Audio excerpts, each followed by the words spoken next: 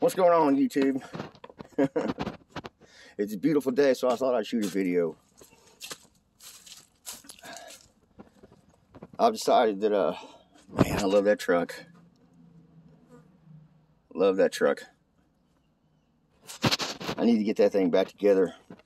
It's been a work truck here lately, hauling crap around. But check this out. Remember that pile of crap that I showed you not too long ago? That bike looked like hell. It's still got a little ways to go, but look, check this out.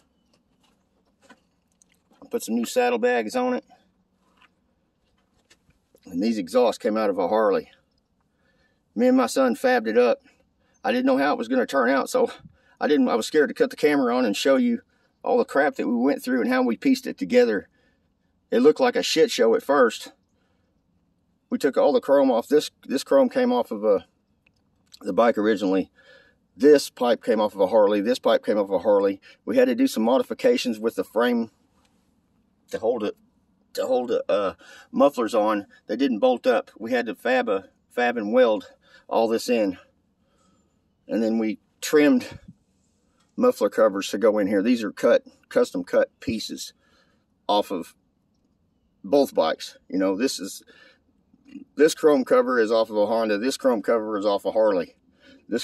This chrome color is off of a Honda. This little piece right here is off of a Harley. These came off of a Harley. Yeah, I went ahead and pried that Bondo out. It was cracking. I popped it out of there.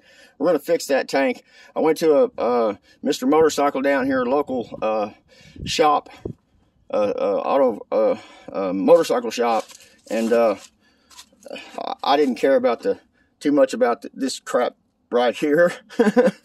so I, I, just made the cable go straight up here. You know, I haven't, I, I, I've got a little bit of money stuck together, but my funds are kind of low. But my main objective is to get these controls back up here working right. Get a longer uh, clutch cable right here. They're not open today. They're going to be open tomorrow.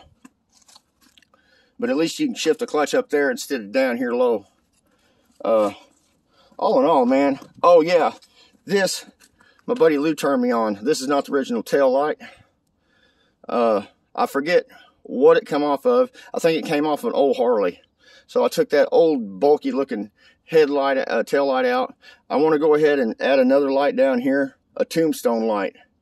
I want to put it on down here to cover this. Or I haven't made up my mind yet. We're going to take and trim this fender up. Kind of come up a little bit and around here, around this thing. I like, I, I haven't made up my mind which, which look I want.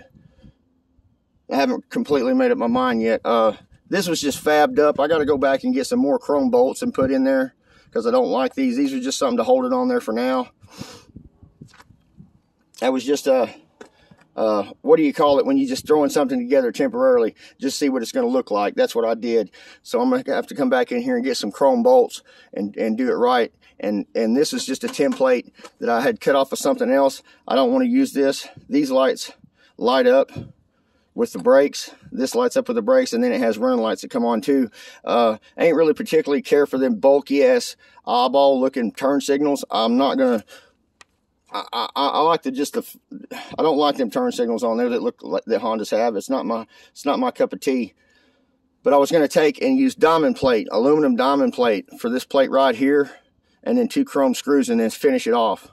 But that's the kind of stuff that uh, I like to do. I like to change stuff up and I like to build something out of my own. Uh, for, for a sissy bar, I was thinking about taking some square iron and twist it and, and bolt it back here, then have have a twisted iron, square iron come up to right about here and come to a point and then maybe have a dagger that you stick there. You know what I'm saying?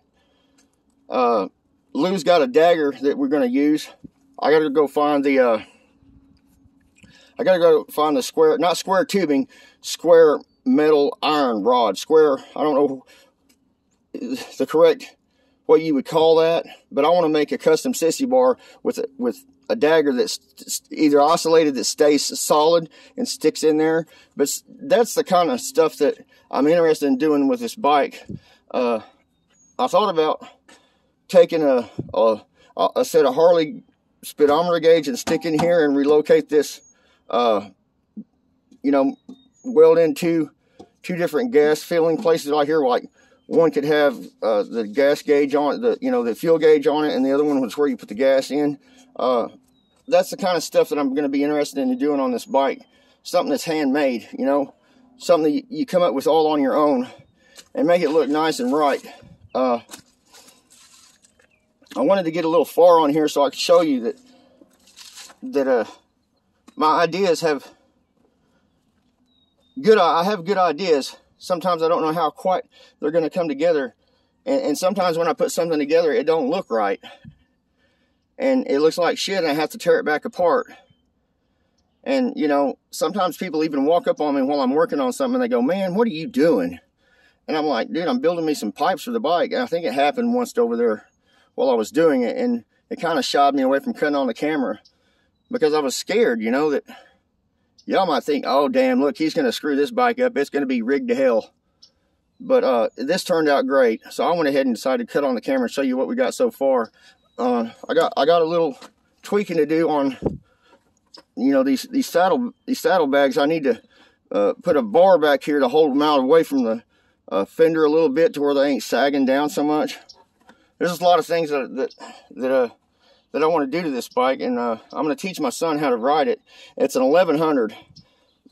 Thank God for that, because I I really I've owned 750s and stuff in my time, but I like the way this bike responds to the throttle, man. You, you have to hold on to the handlebars when you take off. When you nail that throttle, my son's been on this bike with me, and uh, That's why we need a sissy bar because his ass keeps sliding off the back seat.